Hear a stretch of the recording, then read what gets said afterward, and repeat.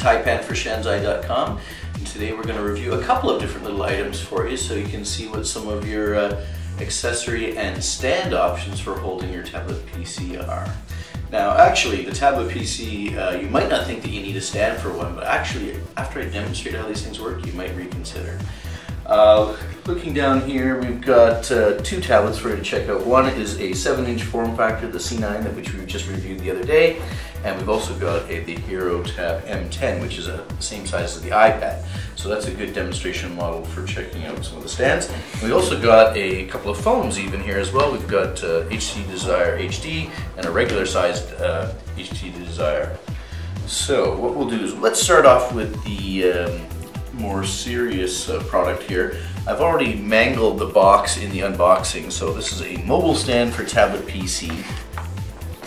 Uh, it comes actually in this lovely red velvet uh, sort of covered uh, background case. You lay it on top with the other piece, whoops, like so, pull that open, and you pull out this lovely little uh, black velvet case, which would actually fit probably pretty easily into your pocket, so you could carry it around with you, which is good, because I think that's one of the problems with the separate stands. You're going to want it sometimes and not other times.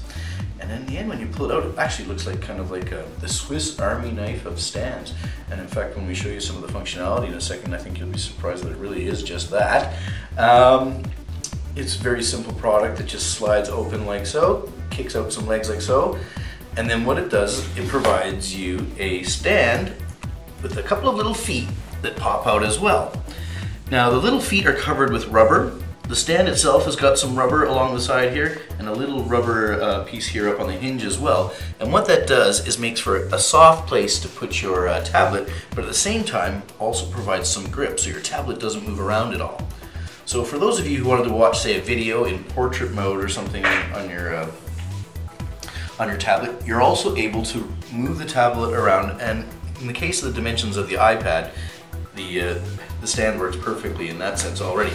But for those of you who are already bought smaller devices, even a 7-inch 7 inch device in portrait mode can be accommodated by simply adjusting the feet a little bit closer, putting your tablet on like so, and voila, again, another very sturdy stand for your uh, for watching movies or whatnot. Now, you think that's all it is, but no, wait, there's more. yeah, actually, the stand also has another conversion mode. By popping in this, the back of the stand and popping out a little piece here on the back, you'll see that the stand is able to provide a very low level type of uh, inclination, or incline I guess you should say. And how that becomes useful is by pointing the stand at yourself and moving your tablet onto the stand, you get a slight angle, which is perfect for people who want to use the keyboard on their iPad or on their tablets, but with a little bit more angle on it. I think that's, uh, for most of us, actually I prefer a little bit of angle myself. When the tablet's just flat on the ground, you find it starts to hurt your neck or your back a little bit, and I think this would help you be able to uh, crank out some uh, emails and whatnot and type a little bit longer. And again, it's adjustable, so you can take your tablet, slide in your 7-inch tablet there, and you're off to the races. Now, theoretically, I suppose you could use these with your phones. The HTC Desire is a little bit smaller than the iPhone. Uh, I don't know, the, the, stand seems a little bit bigger for a phone. And even the HTC Desire HD, which is a, a fairly big phone as far as smartphone goes, is probably a little bit too small for that particular stand. But we do also have a, a device that is useful for those sizes of device for you as well. When you're finished with your stand, simply fold it up, throw it back in the handy dandy case, and you're off to the races. Now I'm just getting some updating on the pricing for this, which I'll put down in the uh, in the article so that you can read and find out how much this thing costs and goes for, and, for, and I'll let you know what the price is on that as well. But really very, very handy. Uh, the second thing we've got here for you today, they're calling it the sucker stand. Affectionately inside of uh, Shanzai.com headquarters, we're calling it the poo plunger.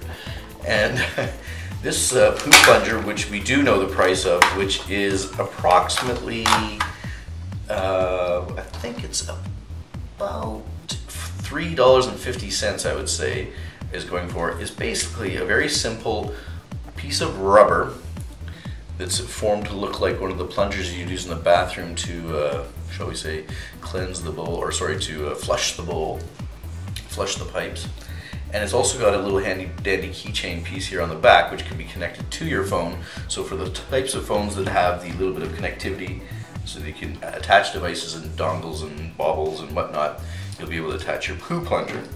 Now the poo plunger works in the simple sense that you plunge it to the back of your device, and then the wooden angle of the of the handle part of the plunger sits in the back and just acts as a stand for your phone.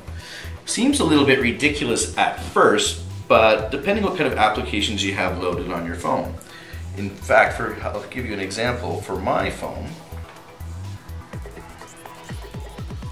I like to keep the uh, the alarm clock and the nightlight thing going at night, so you can dim it a little bit so it's dark. And that's using the Alarm uh, Plus Pro or something like that application. So when that lies flat, I can't see what the time is on my on my bed stand. But using the poo plunger behind, giving it a little bit of angle, I'm able to use it as a stand. And that also helps me when I'm at the office when I have my phone there, because actually I keep my phone on during the office as my third tiny screen to uh, supplement the two monitors that I'm using. So actually the poo plunger has its value as well. But again, this one goes for about $3.50 that we see in some novelty stores. Anyway, both of those are, are interesting items and stands. This one I think is really worth a, a, look if you're kind of thinking about doing more and more typing with your device.